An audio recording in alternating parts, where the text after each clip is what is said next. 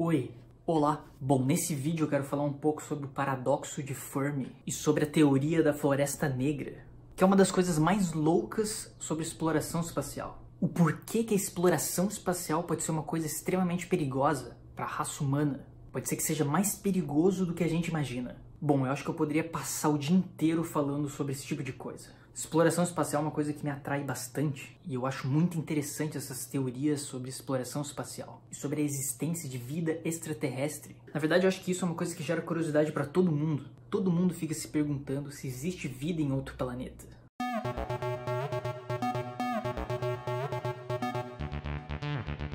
Bom, o paradoxo de Fermi é basicamente uma teoria, um paradoxo, sobre o porquê a gente não encontrou ainda vida alienígena. Se existem bilhões de estrelas pelo universo que se parecem muito com a nossa, que faz com que existam muitos planetas parecidos com o nosso, onde existir vida é possível, por que, que a gente ainda não encontrou uma outra espécie alienígena inteligente? Ou seja, se a probabilidade de existir vida é tão grande, por que, que a gente ainda não encontrou nenhuma? Onde estão os extraterrestres? E o paradoxo de Fermi é exatamente teorias sobre por que, que a gente ainda não encontrou extraterrestres. Por exemplo, uma das teorias que pertence ao paradoxo de Fermi é de que as vidas inteligentes elas acabam se autodestruindo, por isso que a gente acabou não conhecendo nenhuma até agora.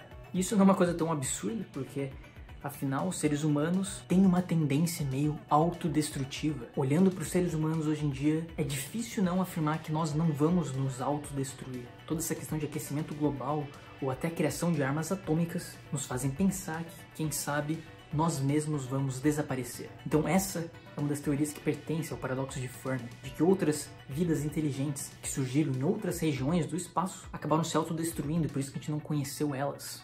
Ou também o paradoxo de que realmente não existe outra vida, de que nós somos a primeira civilização inteligente. Bom, mas uma das teorias que pertence ao paradoxo de Fermi e que é uma das teorias que eu acho mais interessante é conhecida como a teoria da floresta negra. Bom, e o que é a teoria da floresta negra? Bom, imaginem que vocês estão andando numa floresta à noite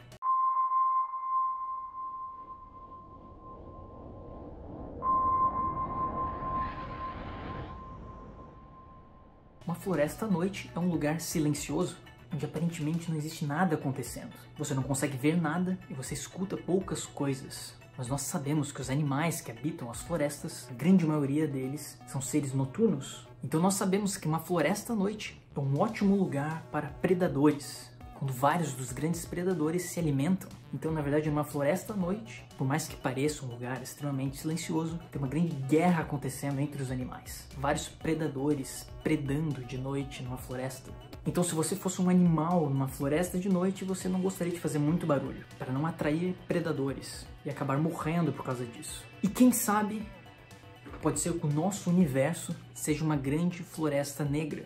Ou seja, Pode ser que existam vários predadores, várias outras civilizações muito inteligentes, só que elas não se manifestam no universo, não tentam entrar em contato com outras civilizações inteligentes, com medo de serem predadas, com medo de serem exterminadas. Então essa é a teoria da floresta negra, que pertence ao paradoxo de Fermi. Então o fato de nós não termos encontrado até o momento outras civilizações inteligentes pode ser porque eles estão em silêncio, apenas observando o universo e com medo de encontrar uma outra civilização que vão exterminar eles. Bom, se a gente analisar do ponto de vista biológico dos seres humanos, muito provavelmente, se nós encontrássemos uma outra civilização inteligente, nós iríamos tratar essa outra civilização de uma forma um pouco hostil.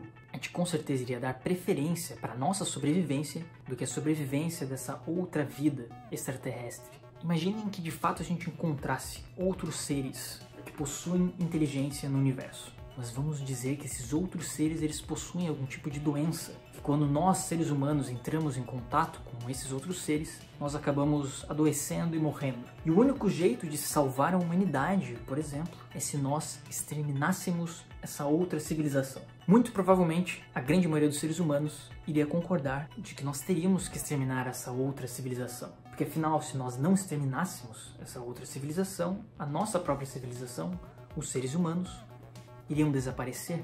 Então existe de fato na nossa mente sempre a tendência de nós queremos nos autopreservar, nós queremos sobreviver. E a outra civilização é que deve perecer. Isso é uma coisa meio instintiva, é nossa, uma coisa que está dentro de nós. Nós queremos sobreviver e nós queremos que a nossa espécie sobreviva também. Então, muito provavelmente, se nós encontrássemos uma outra civilização e a nossa existência estivesse em perigo, nós iríamos com certeza dar preferência para a nossa existência. Iríamos destruir a outra civilização. Bom, só que pode ser que a outra vida alienígena, a outra vida inteligente, também faça a mesma coisa e também queiram exterminar outras civilizações que ofereçam riscos para eles. Bom, existem vários projetos que foram desenvolvidos para tentar encontrar outras vidas no universo, outros possíveis locais onde existam vida. E uma das formas de tentar encontrar a vida alienígena é monitorando sinais de rádio monitorando partes do universo, tentando identificar ondas de rádio que possam estar emitindo sinais. Na verdade, vários tipos de filmes já foram feitos sobre esse tipo de projeto. Aquele filme famoso, Contato, por exemplo, trata sobre esse tipo de assunto, de tentar monitorar as ondas de rádio que estão vindo do universo para tentar identificar mensagens alienígenas. E uma outra forma também de tentar encontrar vida alienígena é transmitindo sinais para o universo, transmitindo informações a partir da Terra para outras partes do universo, esperando obter uma resposta em relação a isso. Só que se a teoria da Floresta Negra faz sentido e ela existe de verdade, de que existem outras vidas, outras civilizações espalhadas pelo universo são talvez muito mais poderosas que os seres humanos, mas que estão em silêncio para exatamente manter a sua sobrevivência. Ficar transmitindo ondas de rádio pelo universo não é uma boa ideia. Porque pode ser que a gente de fato encontre vida alienígena, mas a gente acabe acordando uma civilização que vai exterminar nós. Isso eu acho uma das coisas mais loucas. Porque se de fato a gente conseguir encontrar vida alienígena, pode ser que isso seja o fim da nossa civilização existe uma grande chance dessa civilização querer exterminar nós. O paradoxo de Fermi, ele divide os tipos de civilizações em algumas categorias. Então existe as civilizações tipo 1, que seria basicamente como é a humanidade hoje em dia. Então a civilização tipo 1, que conseguiu de certa forma controlar a energia que é produzida no seu planeta para benefício próprio. E existe a civilização tipo 2, que seria a civilização inteligente que conseguiu dominar a energia da sua estrela consegue absorver, por exemplo, toda a energia do seu Sol para produzir coisas, por exemplo. E existe a civilização tipo 3, que seria uma civilização que conseguiu dominar todas as fontes de energia da sua galáxia. Conseguiu se tornar tão poderosa que toda a energia que é produzida na sua galáxia é em prol dessa civilização. Como se cada estrela da galáxia estivesse fornecendo energia em prol dessa civilização.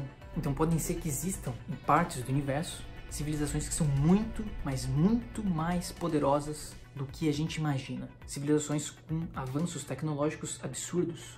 Só que a gente simplesmente não conseguiu encontrar elas ainda, porque talvez elas não queiram ser encontradas. Então essa questão de paradoxo de Fermi e teoria da floresta negra do universo é uma coisa muito louca. Uma das únicas coisas que protege nós seres humanos de talvez uma completa destruição de uma outra raça alienígena é o tempo Talvez o tempo seja a única coisa que nos protege da destruição da nossa civilização. Porque por mais que nós encontrássemos, por exemplo, uma outra civilização inteligente, conseguíssemos com telescópios modernos olhar para o fim do universo e encontrar uma outra civilização muito mais poderosa que nós. Bom, mesmo assim, se eles quisessem destruir nós, eles teriam que vir até aqui. Nós estaríamos a milhões de anos-luz de distância muito provavelmente nós ainda estamos protegidos por alguns milhões de anos. Por mais que nós encontrássemos vida alienígena, ela iria demorar muito para chegar aqui para destruir a gente. Então, por enquanto, essa é a boa notícia, de que nós não iremos morrer instantaneamente.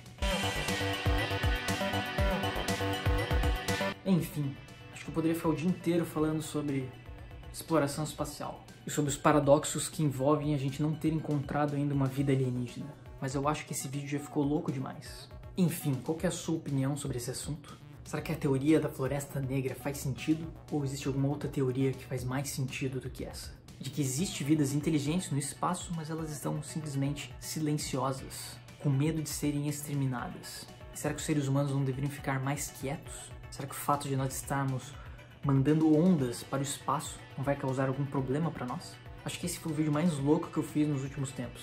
Mas enfim. Thank you.